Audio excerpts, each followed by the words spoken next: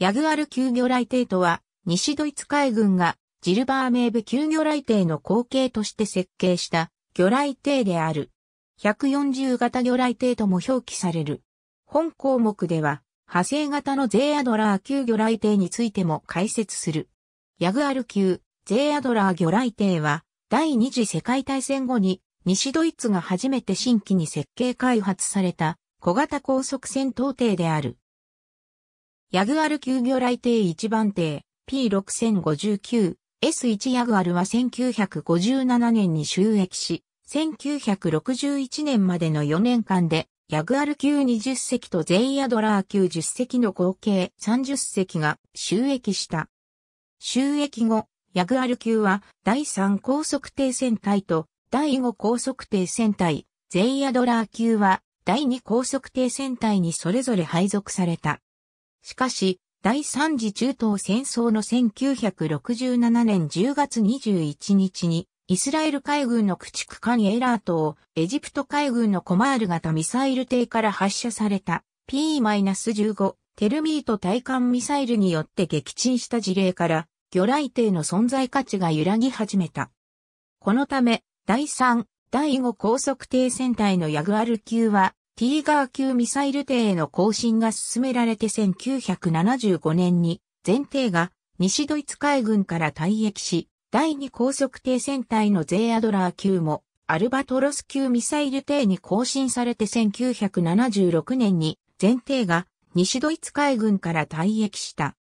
ヤグアル級とゼーアドラー級の艇体は同一の構造であり、木製の外板と軽合金製の甲板で製造され軽量化が図られているが、主な作戦想定海域である北海及びバルト海における一定水準の高揚能力を備えている。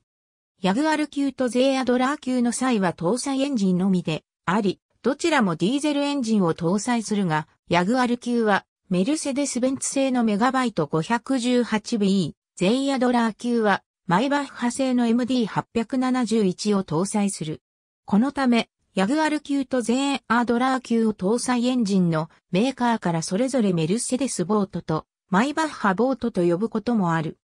当初はゼーアドラー級の最高速度が大きくヤグアル級に劣っていたが、1960年代後半にはエンジンを改良型のマイバッハ製 MD872 に換装することにより、ヤグアル級にほぼ匹敵する最高速度を手に入れた。ヤグアル級、ゼアドラー級の並走は基本的に同一である。主兵装の 533mm 魚雷発射管は、艇体の左右に2機ずつの計4機搭載されており、魚雷の発射軸線は、艇体の前後軸線からやや左右外向きの角度をつけて取り付けられている。艇内に予備魚雷は搭載不可能なため、魚雷の再装填には母港に帰還するか、補給艦と合流する必要がある。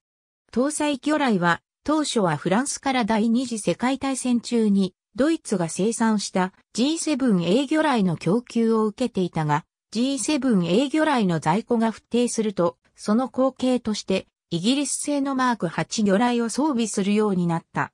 甲板上には対空兵装と二次的対水上火力を兼ねて環境の前後に1門ずつのボホース 40mm 機関砲を装備している。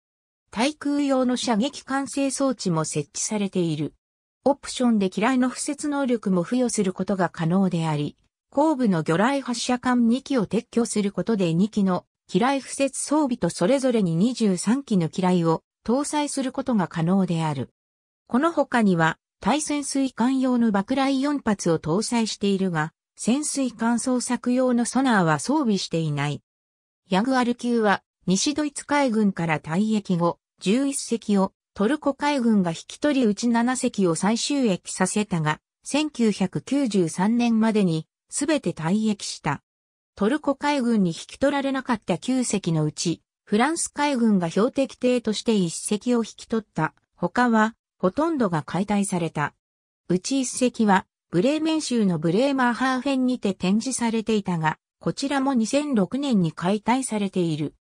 西ドイツ海軍から退役したゼアドラー級は、10隻すべてをギリシャ海軍が引き取りそのうち7隻を再収益させたが、2005年に最後の艇が退役した。西ドイツ発の国産大型水上戦闘艦であるケルン級フリゲート一番艦海220ケルンの機構は1957年、収益は1961年である。このマーク8魚雷は非常に優秀な魚雷であり、1982年のフォークランド紛争において、イギリス海軍の原子力潜水艦 S48 コンカラーがアルゼンチン海軍の巡洋艦ヘネラル・ベルグラノを撃沈する際にも使用された。